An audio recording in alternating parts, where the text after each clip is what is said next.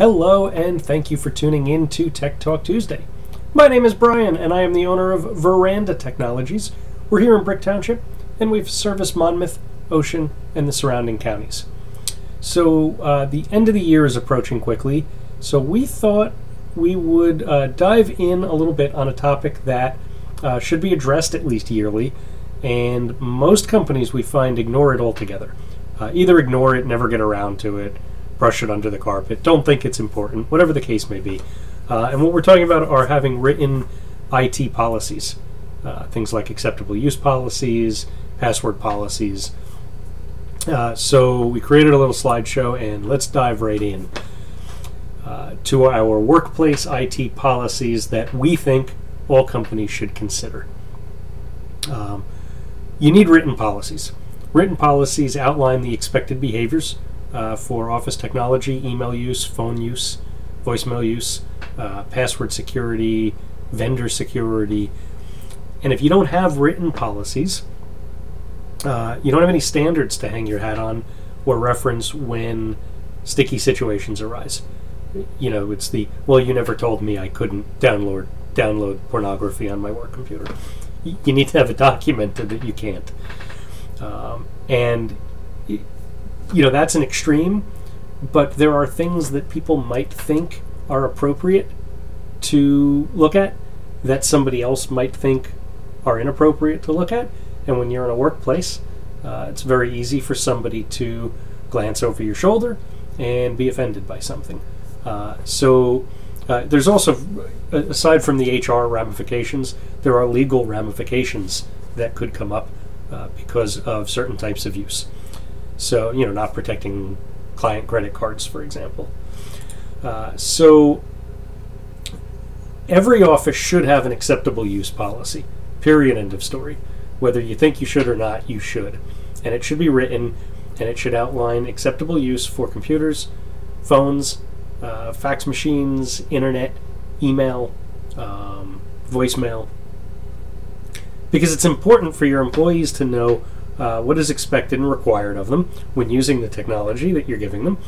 Uh, it's also important for the business owner to understand the lost uh, potential loss of time, uh, loss of productivity, uh, because of things like this, right?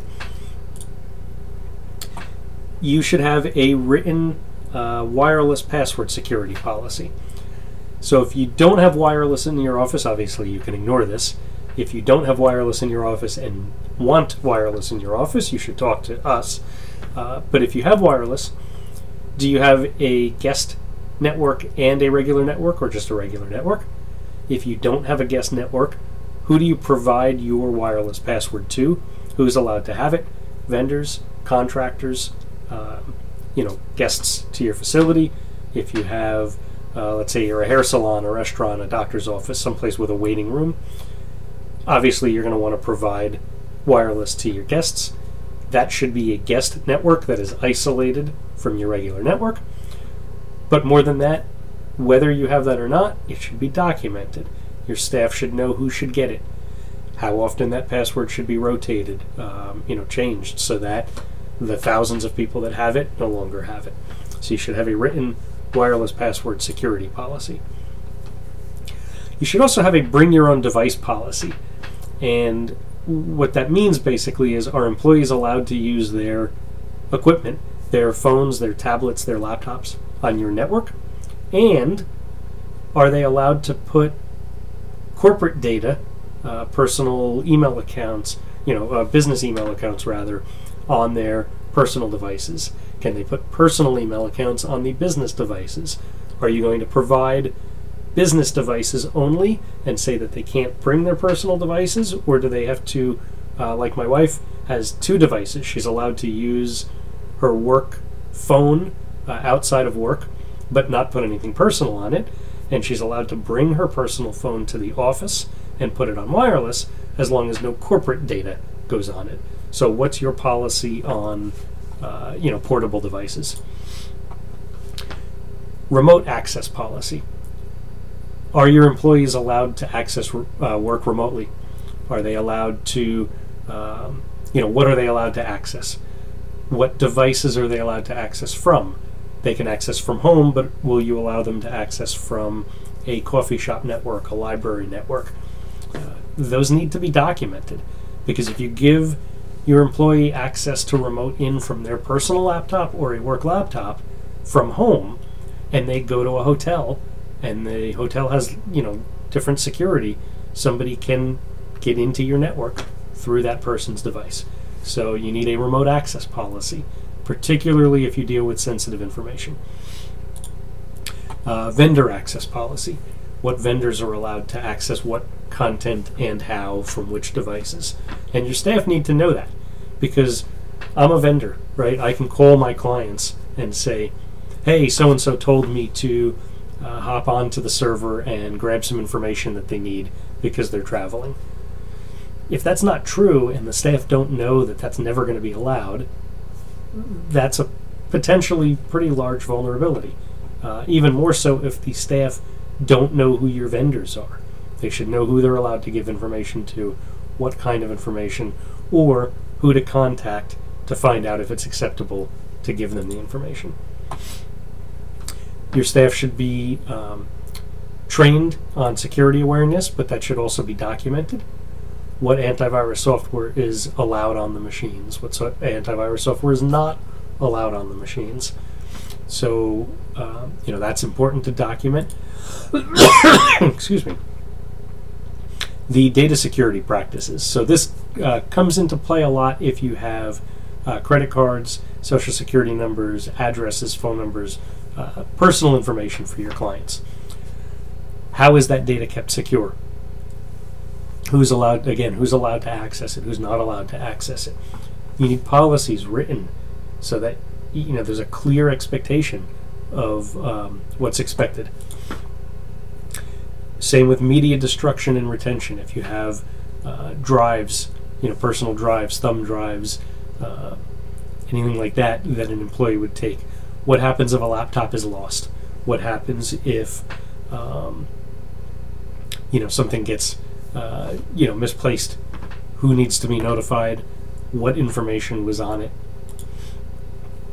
And how to handle those incidents. Who needs to be notified, right? Sometimes it's just the owner of the company. Sometimes it's, uh, you know, uh, uh, if you're dealing with sensitive financial information, you know, there could be somebody in an outside company that you need to notify. Um, you know, medical records obviously would have their own. Uh, that's a, a, world unto itself. And then uh, software download and installation policies. Are employees allowed to download software? Are their computers restricted? Uh, you know, what can they download? What's acceptable to download? What's not acceptable to download?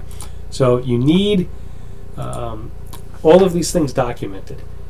Uh, again, not every company needs all of these documented, but you need to consider whether or not you need them documented, because if if they come into play even a little tiny bit, um, and something isn't handled properly, and there are legal ramifications, HR ramifications, just personnel ramifications inside the company.